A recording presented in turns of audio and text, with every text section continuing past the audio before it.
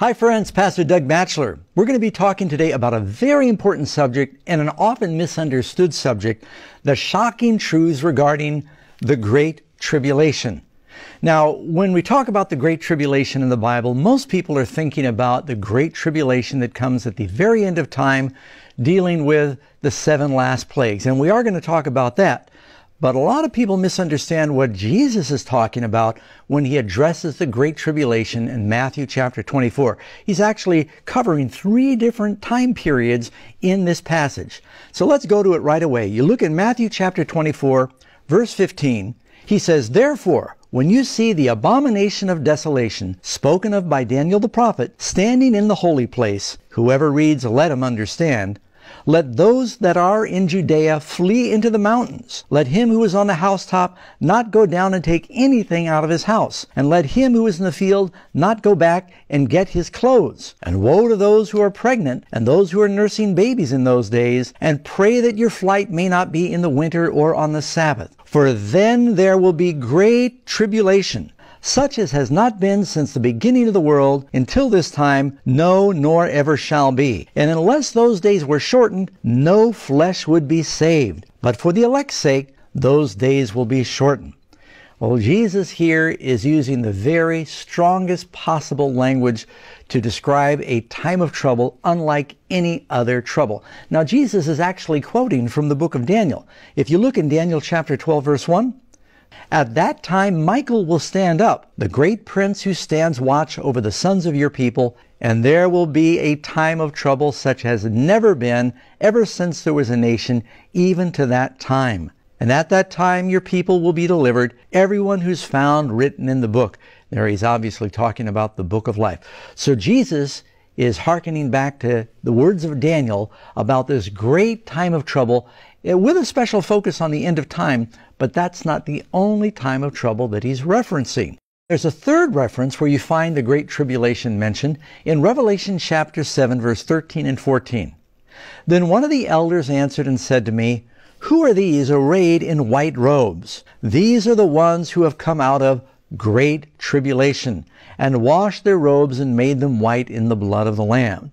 So even Daniel Revelation and the words of Christ describe this time period called the Great Tribulation. But one thing I want to make very clear is the Lord does not want us to live in fear. There's probably 300 times in the Bible where God says, Do not be afraid, do not fear. Jesus said, Why were you afraid? Let me reemphasize this in the words of Christ. John 16 33. Jesus said, These things I've spoken unto you that you may have peace. In the world you will have tribulation, but be of good cheer, for I have overcome the world.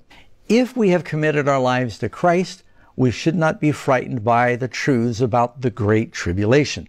I don't stay awake at night and worry about the great tribulation. The thing I'm concerned about is I want to make sure that I'm living day by day, abiding in Christ, and then He'll get me through the great tribulation.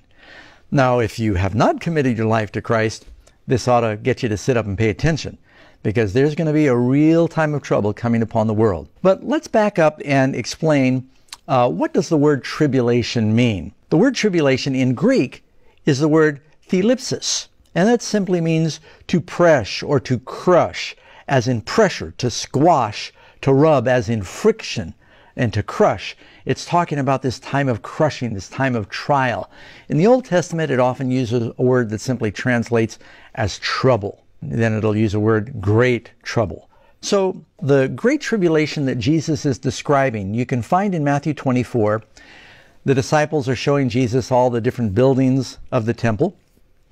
And uh, he shocks them by saying, do you not see all these things? There will not be left here one stone upon another that will not be thrown down. So the disciples come to him and they ask him basically three questions. They say, When will these things be? What will be the sign of your coming and the end of the world? Jesus, like the Old Testament prophets, he amalgamates, he combines and collates his answer into one discourse. You'll find with many of the Old Testament prophets, they often uh, talked about different time periods in one prophecy. So Jesus just carries on through Matthew 24. You'll also find this in Mark 13 and Luke 21. He describes these times of trouble. First of all, there is a time of trouble that is specifically talking about the fall of Jerusalem. Now, the Jewish nation has been through some really big times of trouble. Of course, the Bible tells us the nation was born out of a great tribulation called the Exodus, where all those plagues fell on ancient Egypt. The great time of trouble at the end of time has many of the same plagues that fell on the Israelites in the Exodus experience. Children of Israel went through a lot of tribulation with some of their neighboring nations, but principally when they were destroyed by the Assyrians, 10 of the tribes carried off to be captives in Assyria. When Nebuchadnezzar came down and he destroyed the temple and burnt the city of Jerusalem, and they were carried off to Babylon for 70 years, that was certainly a great time of trouble. And then you can look at what happened in the book of Esther. There's a death decree that all of God's people, the Jews, are to be executed on a particular date. And then, of course, there was a great time of trouble during the Holocaust and other times in history. But the prophecy of Jesus here gives a special focus to a great time of trouble that was going to come on that generation, God's people, the Jewish nation. So look at what he says here in Luke 21. But when you see Jerusalem surrounded by armies, then know that its destruction, its desolation is near. Then let those who are in Judea flee into the mountains. Notice, Matthew 24, he says, When you see the abomination of desolation spoken of by Daniel the prophet, stand in the holy place, let those that are in Judea flee into the mountains. Here he says, When you see Jerusalem surrounded by armies, what army surrounded Jerusalem? The Roman army in 70 AD, or even just prior to 70 AD, they came against Israel and Jerusalem in particular. Know the desolation thereof is near. Then let those who are in Judea flee to the mountains. Let those who are in the midst of her depart, and let not those who are in the country enter her. For these are the days of vengeance, that all things that are written might be fulfilled. Woe to those who are pregnant, and to those who are nursing babies in those days, for there will be great distress in the land, and wrath upon this people. And they will fall by the edge of the sword, and they'll be led away captive into all nations, and Jerusalem will be trampled by the Gentiles until the times of the Gentiles be fulfilled. And we, we've seen the nation of Israel reconstituted in this last century. Now, when you look in the prophecy of Daniel that you find in Daniel chapter 9 about the Messiah, notice what it says in verse 26. And after the 62 weeks, Messiah will be cut off. That's Messiah, Jesus, but not for himself. He dies for us. And the people of the prince who is to come, the nation that would be executing Jesus, that's the Roman power, shall destroy the city and the sanctuary. That's exactly what happened after the execution of Jesus. And the end of it shall be with a flood, meaning not a Noah flood of water, but a flood of armies that would come in. Until the end of the war, desolations are determined. There you've got the desolation again that Luke spoke about. First time of trouble is talking about this terrible time of trouble that would come on the nation of Israel.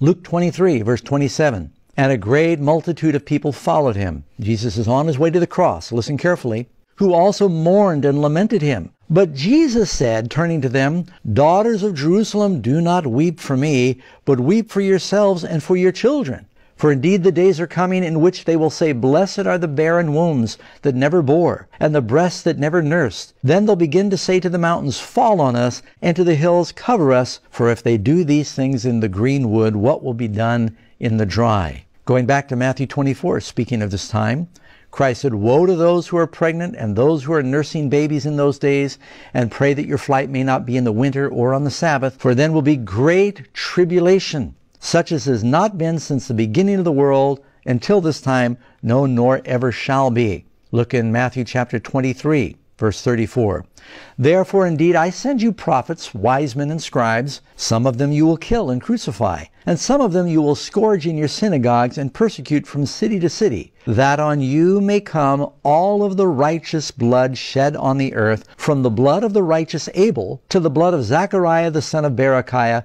who you murdered between the temple and the altar. Assuredly, I say to you, all these things will come upon this generation. So, this first great tribulation, Jesus said, is talking about a generation that was actually alive. He's speaking to the people at the cross, saying, On this generation, there's going to be great trouble that's coming because you're rejecting the Messiah. At least the nation did. Many Jews, of course, accepted Jesus, and the early apostles were all Jewish. Those baptized at Pentecost were almost entirely Jewish, and then later when 5,000 were baptized. So the early church was composed of largely Jewish believers until Peter, Peter took the gospel to Cornelius and then Paul to the Gentiles. So, but as a nation, they were going to experience a terrible judgment.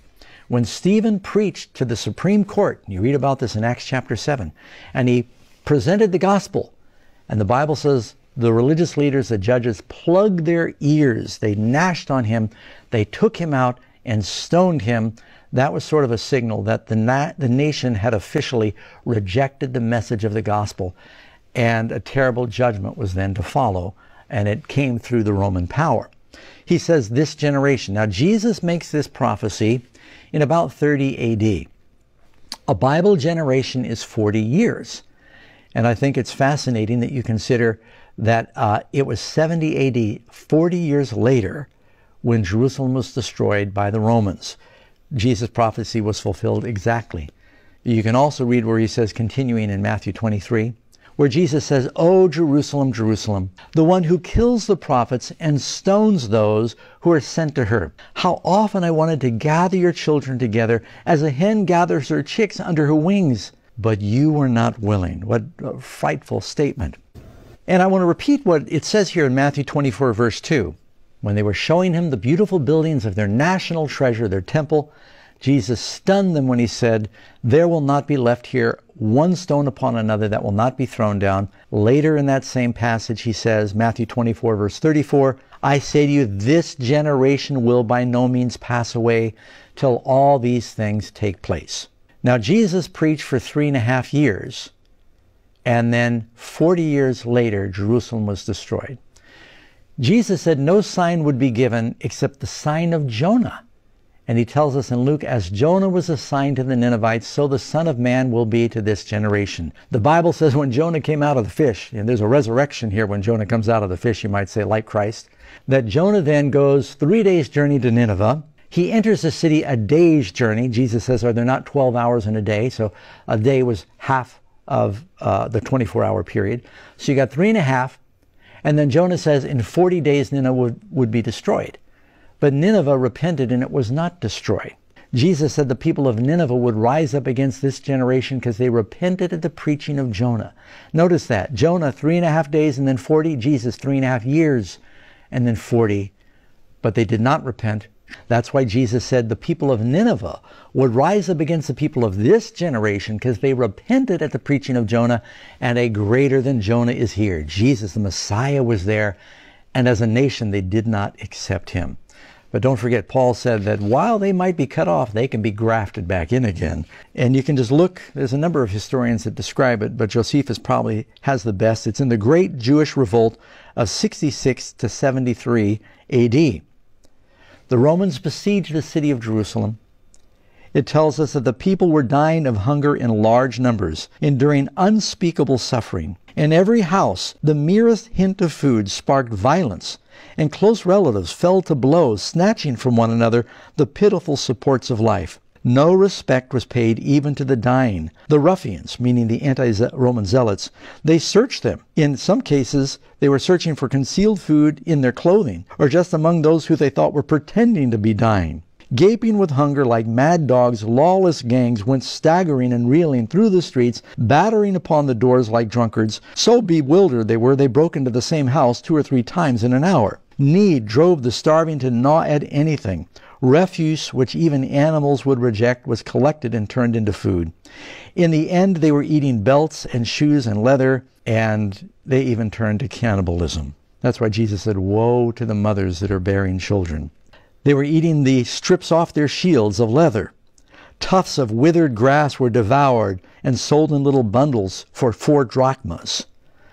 Josephus reports that during this time, while they were resisting the Roman army and the Romans were gathered outside, that the Romans would collect and crucify up to 400 or 500 Jews each day, trying to inspire them to surrender the city. They crucified so many Jews around Jerusalem that Josephus reports there was no wood left in the area for this purpose.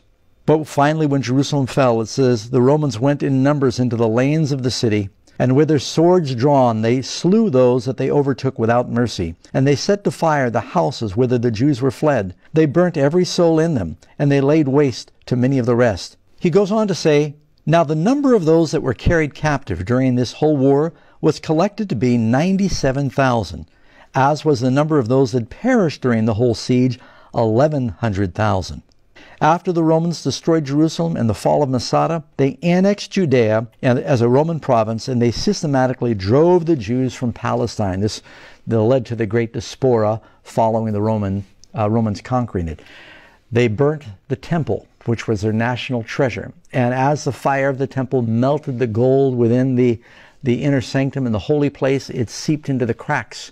The Romans later, in wanting to recover the gold, they plowed the ground. They overturned every stone so there was not left one stone upon another that was not thrown down. Today you can go to Jerusalem and you can see pictures of those massive stones. Some have been left there as a memorial of what happened during the Roman siege. So this first great tribulation that Jesus is talking about in Matthew 24 is talking about the fall of Jerusalem and the sacking of Jerusalem by the Romans and the terrible persecutions and sufferings that the Jews went through during that time. In our next segments, we're going to be talking about a great persecution that came upon the church and then ultimately the great persecution at the end of time, time of trouble such as there never has been. We know that Daniel is talking about the very last days because he says it's connected with the resurrection. So, friends, stay tuned. If you've enjoyed this study and others like it, click like and share it with your friends. If you have no friends, share it with your enemy. They might become your friends.